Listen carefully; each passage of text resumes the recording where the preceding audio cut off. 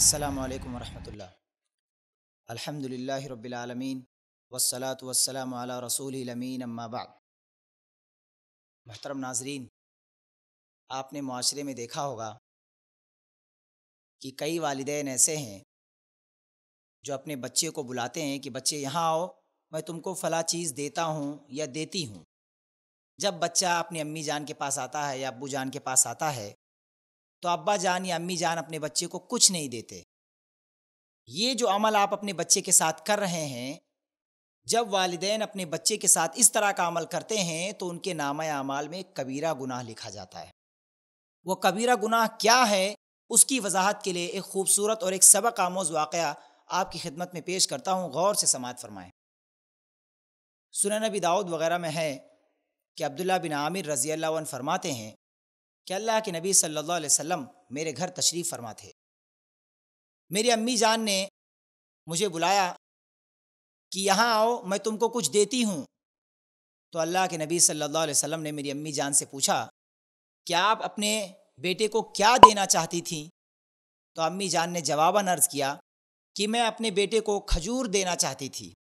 تو اللہ کے نبی صلی اللہ علیہ وسلم نے میری امی جان سے فرمایا ہاں اما ان کی لولم ترتی شعی ان کتبت علیہ کی قسبت سن لو، اگر آپ نے اپنے بچے کو کچھ نہ دینے کا ارادہ کیا ہوتا، تو آپ کے نام اعمال میں جھوٹ لکھا جاتا۔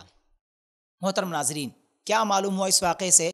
اس واقعے سے یہ معلوم ہوا اگر امی جان یا ابو جان اپنے بچے کے ساتھ یہ کرتے ہیں کہ اپنے بچے کو بلاتے ہیں کہ بیٹا تم یہاں آؤ، میں تم کو فلاں چیز دیتا ہوں، یا امی جان کہتی ہیں کہ بیٹا یہاں آؤ، میں تم کو فلاں چیز دیتی ہوں۔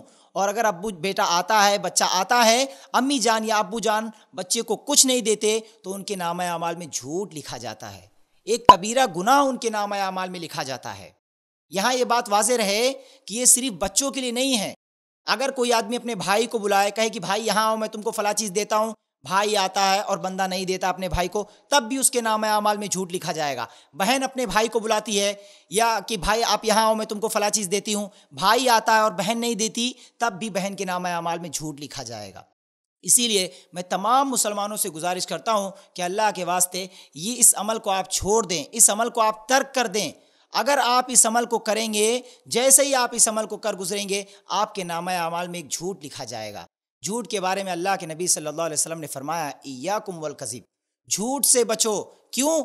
جھوٹ فسق و فجور کی طرف لے جاتا ہے اور فسق و فجور جہنم کی طرف لے جاتا ہے۔